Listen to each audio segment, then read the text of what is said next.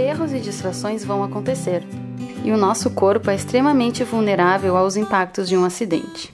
Mas as mortes no trânsito podem ser evitadas. É muito comum culpar pedestres, ciclistas, motoristas pelos acidentes de trânsito. Mas a segurança no trânsito não é responsabilidade exclusiva das pessoas.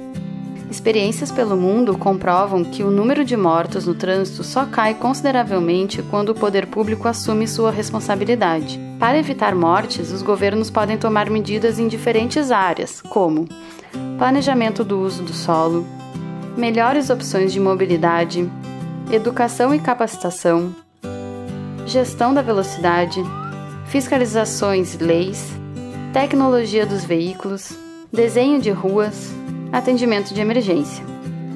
Todas essas áreas de ação compõem um sistema seguro de mobilidade.